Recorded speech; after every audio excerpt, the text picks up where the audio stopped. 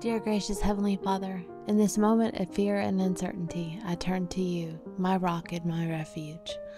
You are the source of all peace, and I ask that you calm the storm within me, quieting my anxious thoughts and soothing my troubled heart.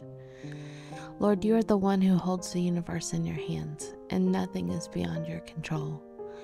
Help me to trust in your providence, knowing that you are always working for my good, even in the midst of life storms. Fill me with your peace, O God, a peace that surpasses all understanding. Help me to rest in the assurance of your love, knowing that you will never leave me nor forsake me.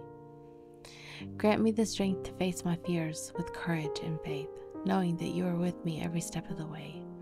Help me to cast all my anxieties onto you, for you care for me deeply and tenderly. Heavenly Father, I surrender my fears into your hands, knowing that you are greater than anything I may face. Help me to walk in confidence and trust, knowing that you are my ever present help in times of trouble.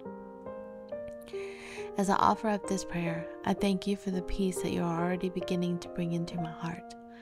May your presence surround me like a shield, calming my fears and filling me with hope. In Jesus' name I pray. Amen.